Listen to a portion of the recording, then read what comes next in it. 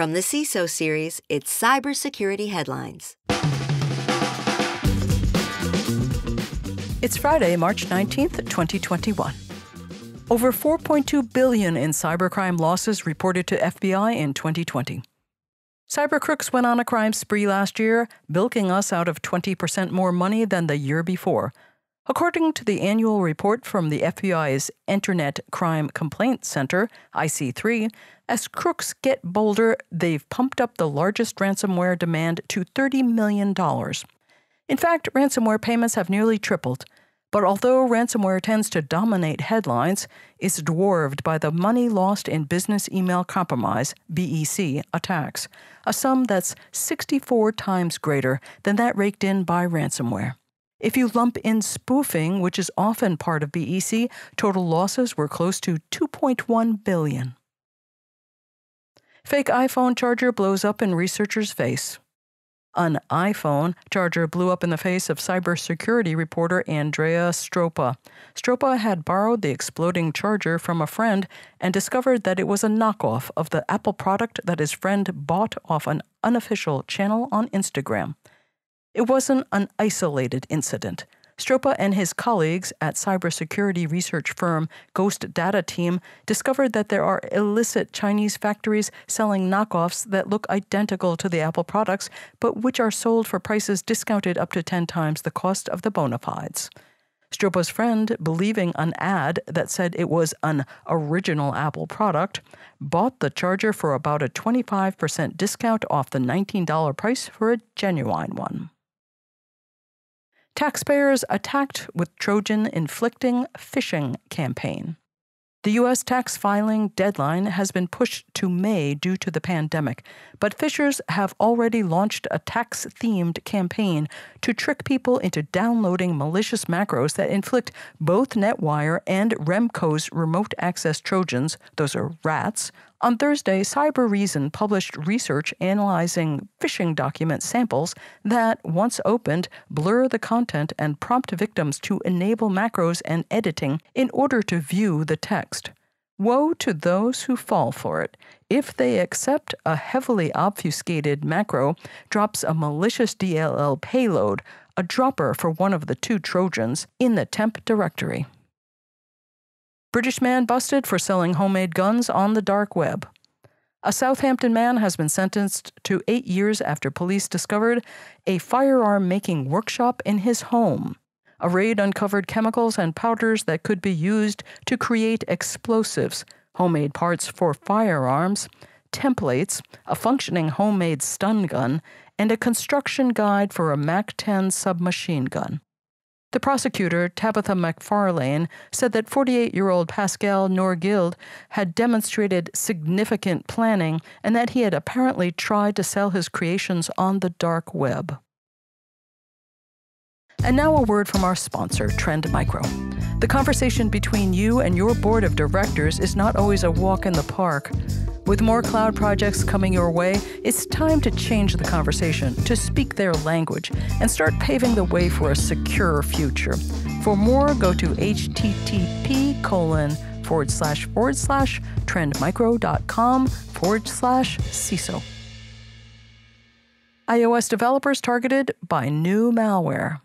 SentinelOne researchers have discovered new malware that's targeting Apple developers in a supply chain attack that installs a macOS backdoor on the computers of iOS developers. It involves Xcode, a free integrated development environment that's IDE from Apple that allows developers to create applications that run on macOS, iOS, tvOS, and watchOS. Threat actors are increasingly creating booby trapped versions of popular projects in the hope that they'll be incorporated into other developers' applications.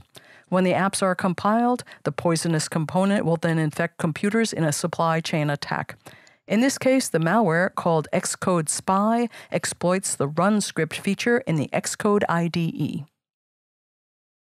Yet more printing problems caused by Windows updates two days after Microsoft hurried out a fix for Windows 10 printer troubles caused by last week's Patch Tuesday update for older versions of Windows 10, it was warning of even more problems besides the blue screen of death. Microsoft had this to say on Wednesday. After installing updates released March 9th, 2021 or March 15th, 2021, you might get unexpected results when printing from some apps. The issues might include document elements printing as solid black or missing color boxes, such as barcodes, graphics, logos, or QR codes. Table lines might go missing, while alignment or formatting might be all screwed up. Microsoft said it expected a fix within a few days. China slaps LinkedIn with 30 day suspension over lax censorship. China says LinkedIn, the sole social network allowed to operate in the country, hasn't been censoring its posts strenuously enough. Its internet regulator is punishing the Microsoft owned platform for failing to control objectionable posts circulating in the period around an annual meeting of China's lawmakers, according to three people briefed on the matter, which hasn't been made public. It's unclear exactly which material got LinkedIn into trouble. As punishment, Chinese officials are requiring LinkedIn to perform a self evaluation and to offer a report to the internet regulator, and to suspend new user signups inside China for 30 days. Google pays Uruguayan researcher $164,674 for cloud bug.